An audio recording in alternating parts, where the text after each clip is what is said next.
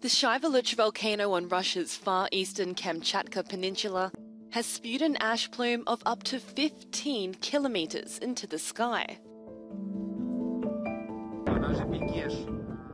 So, what are the risks of volcanic eruptions for aircraft? Well, an eruption releases a large cloud of ash, which aircraft is warned not to fly through or near. We found out why. Uh, when you fly through an ash plume, you ingest that ash and it melts.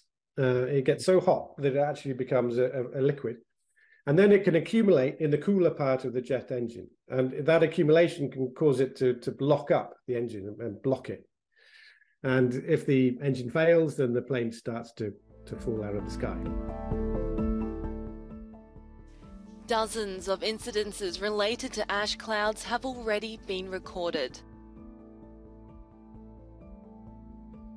Damage and serious breakdowns, but no fatal accidents so far.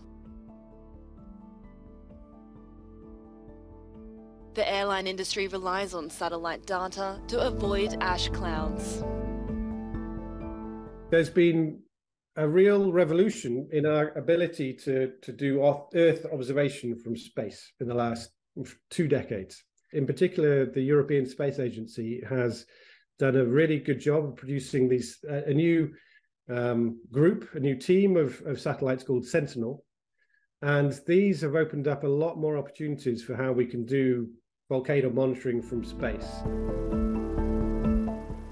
The eruption of Eyjafjallajökull in Iceland in 2010 will go down in the annals of civil aviation. The air clouds paralysed European air traffic. Tens of thousands of flights were cancelled.